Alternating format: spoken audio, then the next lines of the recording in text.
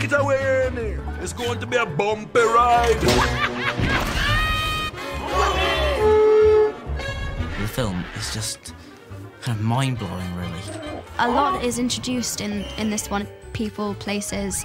Our director has clearly brought his own vision.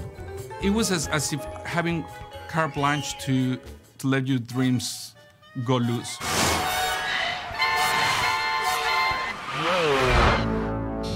Our main thing for Gary Oldman's character was he had to look like he'd been in Azkaban. His eyes very deep set, and haunted, teeth rotting. You're going to kill me, Harry. We designed these tattoos. His whole body was absolutely covered in tattoos all down his arms, and it's a very, very scary image when you first see that. His description in the book is he has this sort of like long, kind of greasy hair, and he's got a face like a corpse when you first see him. We tried a good few looks with him before we ended up with the look we had. Harry! And we tried very, very short hair, where over the 12 years I'd gone grey. We tried it bearded, not bearded. It, it was thoroughly researched. Gary's amazing. You know, you just put it all on and he, the character just came. I look like I, I've escaped from prison, don't you, don't you think? this heart is where you truly live. This heart here.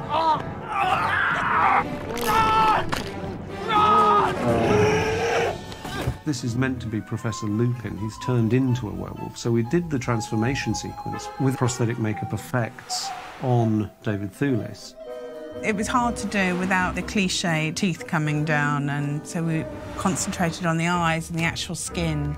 Alfonso wanted him with two big scars down his face so that that could follow on to the werewolf, so you could get the connection between the two of them.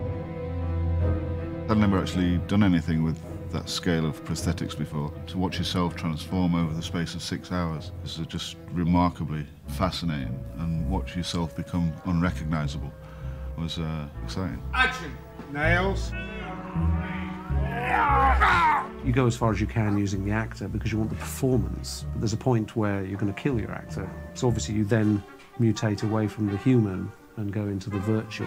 When we actually talked about the transformations, you know, we had to consider how Lupin was going to transform into the werewolf. Most of it was achieved inside the computer with his head turning into the werewolf. That in itself is, is just exciting, just because of the energy of the, of the creature just kind of transforming through. And then the other main one was Peter Pettigrew.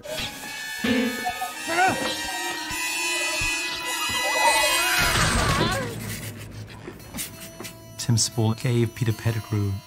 Pettigrew is the most rat-like character you can imagine. This was the animatronic rat. It was making the connection between you know, Peter Pettigrew being the rat and that he, to make him look as rat-like as we could. The wig, we, we tried to get the texture of the rat, the colour, balding pieces, scaly skin. And we had the teeth made, little pair of teeth. We wanted him, because he used his hands a lot, and we had little um, nails made to stick on, so they were like little claws. The wonderful thing is, is that as soon as you start putting the character on, any doubts you had about the way you were going to play it, um, you know, are, they come together. I've been a good friend, a good pet. You won't let them give me to the Dementors, will you? I was your rat. When we were first approached about doing the first Harry Potter, they said it's just some children. And actually, it's turned into a great deal more than just some children. Come on, move it along, move it along. Yeah, man.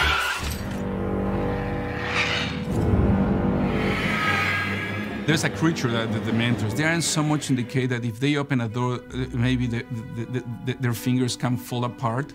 But in the other hand, they just need to inhale and they take away your soul.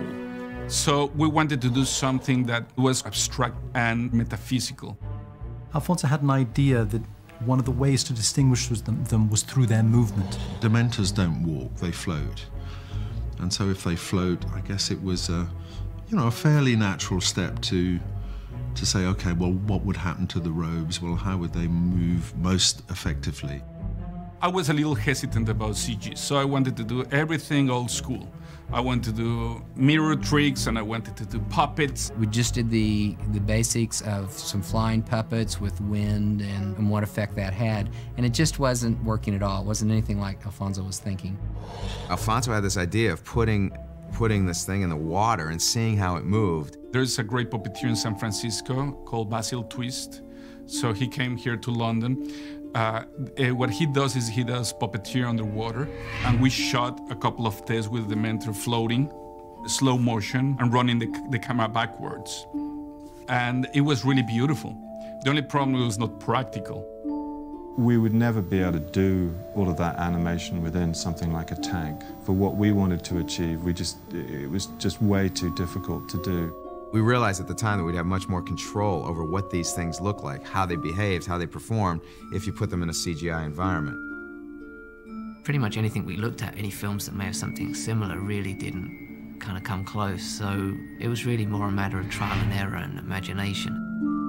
And one of the directions we got from Alfonso was that these guys are not in a hurry. They've got lots of time. There's no sense of urgency. So the character and the cloth had to emote that sort of feeling. So we went through quite a, a lot of iterations to give that sort of performance from the character and from the cloth.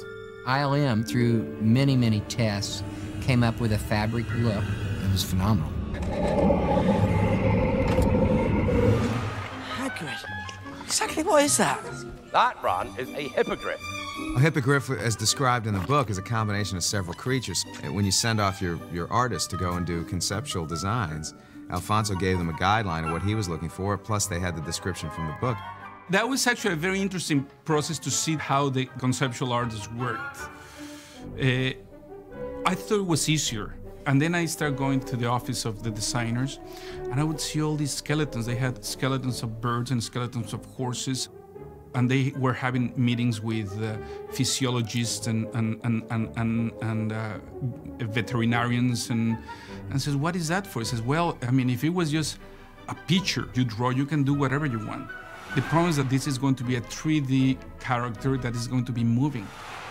So we have to start from the bones." We did motion tests. One of the first things we did was we went to the computer and said, okay, if it's a horse back end and a bird front legs, how does it move and how does it run and how does it fly? I think it was very clear from the beginning that Alfonso had a very, a very definite vision about how he wanted Buckbeak to be as a character, and, and our challenge was to interpret that. So we do a lot of tests before we actually start really working on the movie about what kind of animal is it? You know, is he excitable? Is he sad? Is he, you know, how do you show that in a shot? I remember the very early animations, and it was like a puppy, just jumping, you know, very light and poppy and playful. This is no, I mean, this is this is like a baby. Buckbeak is, is a grown-up, and also is a sloppy. I think he was once described as a sloppy teenager, and so we kind of did a lot of development in the early days to try and combine those characteristics.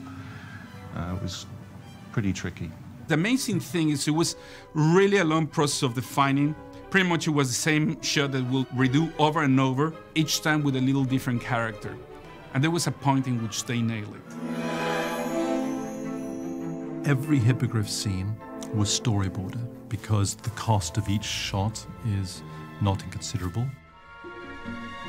Once the previs was finalized, then we shot those scenes.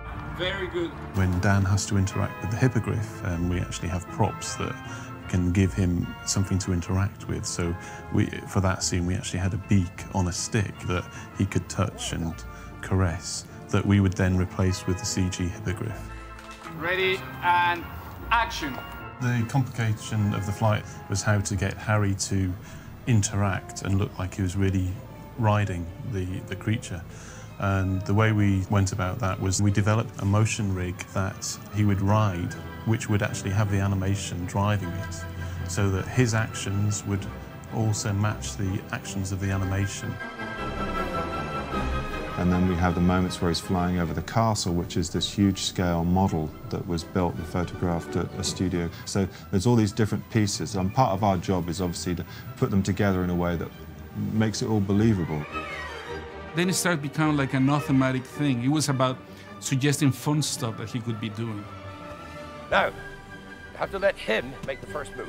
If you watch carefully in the paddock scene, yeah, Yeah. we have an animated hippogriff poop shot. I think that we can lay claim to it being the first time that a CG animal has actually done that on screen. Yeah, yeah, nearly there, nearly there, nearly there. This particular buckbeak is our number three buckbeak, and he was designed to be in the backgrounds of shots where he's a reference for all the CG work, because of course, if it's a CG creature, it's not there, and the kids have nothing to perform against. And if you can put something like this there, then the kids know exactly what they're dealing with and can react to it. Ah, the thing. He was difficult because every material we used, we had to be sure could be matched by the CG guys. The manufacturing period was four and a half months of solid work. The hippogriff skin is a tailored lycra, but over that is a feather skin. Each feather has been individually artworked by a team of people over months. And of course, everything we build is a prototype. So we don't know when we start exactly how we're going to build it. We have to try mocking things up, see how it works, hoping we reach the end of the road before it's time to shoot it. If a creature has to perform on location, you've got to figure out how you get him there, how he's going to behave within that environment. It's a nightmare because you, it's not something you can service. You can't run off to the nearest shop and buy a new part. This board seems okay. It's incredibly labour intensive, incredibly specialised work to make it move correctly. Buckbeak was a phenomenal piece of design. I mean, how the hell those guys do it? I mean, it's got like 5,000 electric motors in it, making it do. I mean, at times you'd look at it and it'd be moving its head and blinking. You think just any moment it's going to stand up and fly off. It's meant to be the most haunted building in Britain. Did I mention that? Twice. The Shrieking Shack is on a mountainside outside Hogwarts and is racked by the wind and the blizzard and, uh, and it moves. Inside the Shrieking Shack, things like doorways and windows were actually triangulating. So it became quite an interesting construction um, for us, as well as the construction department, to try and make all these things come alive. So we had to build a, a frame that would move backwards and forwards that we could then build the set inside. And this, of course, had to be completely safe because the actors were uh, and the crew were in it um, throughout the scene. Welcome to the night bus. Emergency transport for a stranded witch or wizard. The night bus was particularly interesting for us to actually achieve a bus of such height. We cut a bus in half, lifted it, and then constructed the middle section. It was found that a normal London bus was going to be too slow for the sequence, so we obviously had to make a bus that could produce probably twice the speed. The other thing is that every move that we made, it was it was uh, like a circus moving because there was this whole entourage driving all around London. Every time it goes around a corner and it rocks one way and then it rocks back the other, they wanted everything in the bus to, to be rocking, including the, the actors inside. Three, two, one, go! We built an interior that was mounted on top of a hydraulically controlled motion base. This allows us to move the bus from side to side under controlled conditions. It just allows the unit to shoot inside and get the shots that you wouldn't be able to get out on the streets. Come on, man, I have a pedicure at two. Hurry up. I wanted Hogwarts and Scotland, where we shot, to have like a, a really a predominant uh, role in this film. So we would see the characters together with a very sharp and huge Hogwarts in the background, or the really dramatic landscape of Scotland. It was decided that we would go to Scotland in May because it's the month when the sun shines. They haven't had rain for the last 3,000 years, and it rained every day for 28 days. And literally, the set would, you know, be washing out from under us. And at lunch, we'd have to have helicopter dropping gravel and have the, the crew put gravel back in underneath to keep the dirt from washing out from the set, and we bring everybody back up and try and work. I was concerned, you know, about, you know, what does this do to the look? Although Alfonso and Michael literally said that, you know, they felt like it was the best look we could have actually come up with for the movie. It was phenomenal. We had this soft grey, overcast Scottish light, which dramatically for the story is brilliant. No, it was a nightmare getting it, but worth it. Yeah, this is a cool thing. Yeah!